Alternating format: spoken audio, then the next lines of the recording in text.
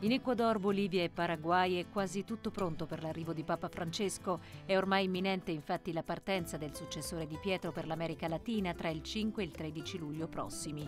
Nel viaggio più lungo del pontificato, il Papa venuto quasi dalla fine del mondo torna nel cosiddetto continente della speranza, partendo dall'Ecuador.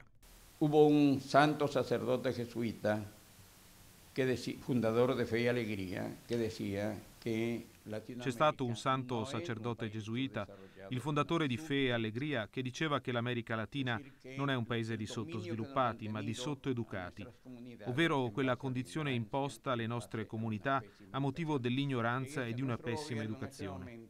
E il nostro governo in questo momento ha intrapreso una grande campagna per uscire dal sottosviluppo, sulla base di una rivoluzione educativa basata soprattutto sull'impegno delle famiglie perché sappiamo che la famiglia è il nucleo della società e se abbiamo una famiglia sana, una famiglia ben strutturata, avremo un paese ugualmente sano, sviluppato e che va verso il progresso.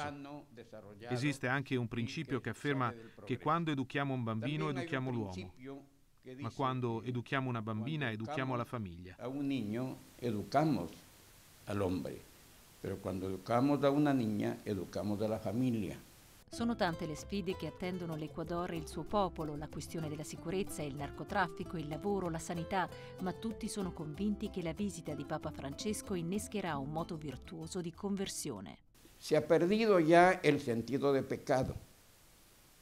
Tenemos que tomar conciencia del nostro peccato personale. Si è perso il senso del peccato. Dobbiamo prendere coscienza del nostro peccato personale. Cosa facciamo per il bene comune? E il peccato sociale contro l'ingiustizia che esiste nel nostro Paese. Necessariamente dobbiamo riflettere e dobbiamo migliorare, progredendo verso una morale del bene comune, verso l'attenzione e il servizio offerto agli altri e non soltanto a noi stessi.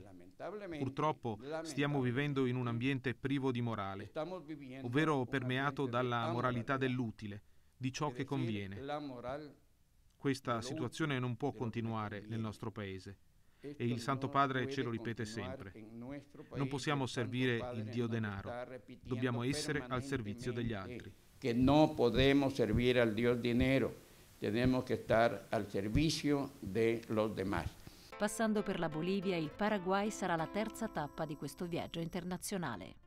Il Paraguay che troverà Papa eh, Francesco si trova in una situazione particolare perché economicamente registra una crescita del 4% l'anno, ma è ancora necessaria la lotta che coinvolge il governo nazionale contro la povertà. È una sfida che affrontiamo e che sappiamo che interessa molto Papa Francesco. Allo stesso modo, il Paraguay è un paese molto giovane.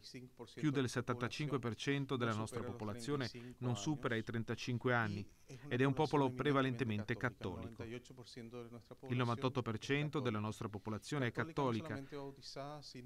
Cattolica non soltanto battezzata, ma che difende la vita, si impegna a vivere effettivamente la propria fede nell'ambiente dove vive.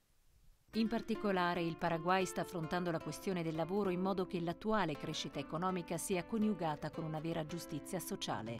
La visita del pontefice ha poi innescato un'attiva partecipazione nazionale con eventi e dettagli organizzativi davvero singolari. De hecho hay cosas verdaderamente históricas como eh, Ci saranno realizzazioni veramente storiche come l'altare per la messa realizzato con mais, grano, cocco e fagioli e che raffigura quella che è stata la prima evangelizzazione nel nostro paese operata dai gesuiti e dai francescani. Ci saranno poi eventi singolari come la partecipazione dell'orchestra di strumenti riciclati di Cateura che utilizza quanto viene gettato per farne strumenti e portare la bellezza della musica alle persone umili in tutte le parti del mondo.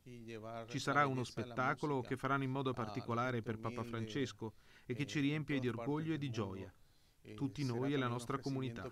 Specialmente al Papa Francisco che nos llena de orgullo y alegría desde ya a toda nuestra comunidad.